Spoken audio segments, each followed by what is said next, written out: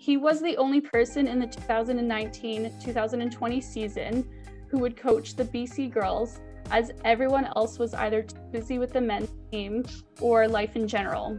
He was organized and determined to help us understand the game better and to get us match ready with the limited time and resources that he had. He continues to support us even without any rugby going on and his ability to connect with everyone to determine their goals was above and beyond any coach I've ever had. So, what is your reaction?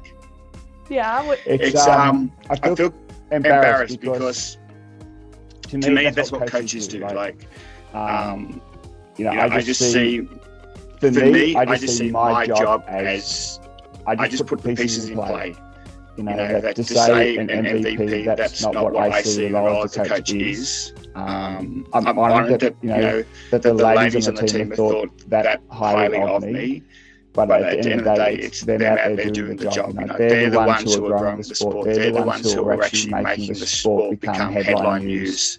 Um, I'm, I'm in the background, so it's not me.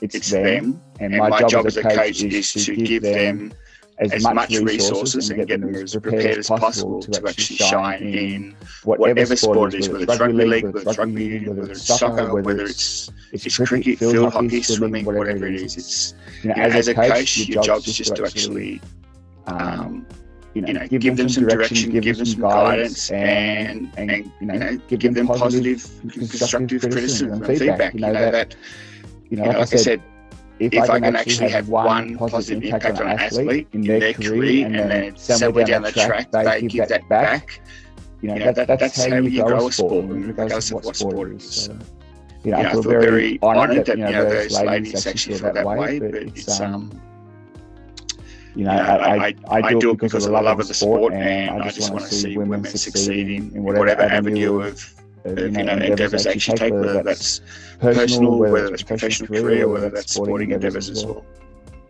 I was personally blown away by the responses because, like, you had three people right off the bat come forward and say Bryan Wilkinson, and I'm like, who's this Bryan Wilkinson guy? Like, I have to interview him.